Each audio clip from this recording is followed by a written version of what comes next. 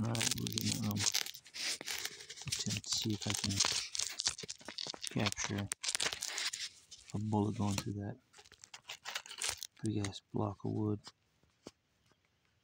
I don't think it will go through, but we'll see at least the energy of the impact, theoretically. Speaking, of course.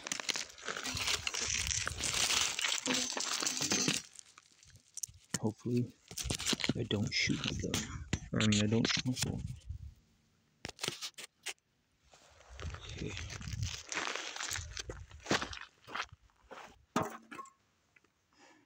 Ruger Security 6.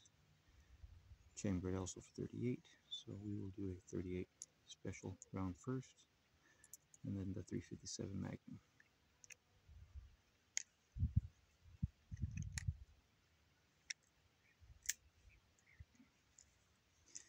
Feel lucky, punk? Yeah, and I'm only shooting this from 10, 20